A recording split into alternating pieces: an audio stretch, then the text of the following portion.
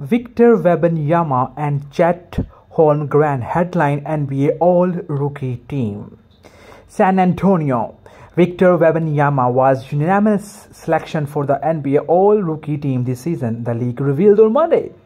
It was no surprise, given that Wembanyama also was the unanimous choice for Rookie of, of the Year from the same panel of 99 voters who cast ballots for the league awards this season.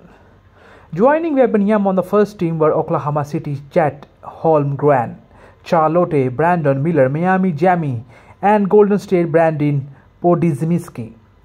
Holmgren, the runner-up to Wembanyama in the Rookie of the Year race, was also a unanimous first-team choice. Miller, Jaquez Podziemski were third, fourth, and fifth respectively in the Rookie of the Year balloting that was announced earlier this month.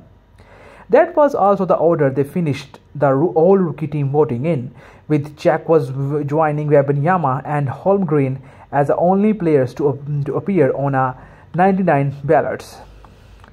The Dallas Dereck Lively was second team all-rookie selection along with the Houston Amen Thompson, Utah Keyonte George, Oklahoma City Cason Wallace, and Memphis GG Jackson. Jackson got the last spot by one vote over Golden State uh, Trayce Jackson Davis. The all defensive team selection will be revealed Thursday, oh, sorry, on Tuesday. That all NBA team will be unveiled Wednesday. Wembanyama is likely first team all defense player. He was number two in the defensive player of the year, race to Minnesota Rudy Gobert.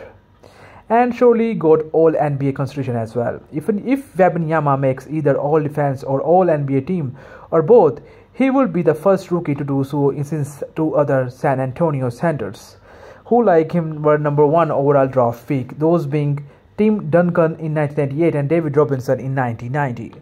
So guys, this is all this video. I hope you guys really like it.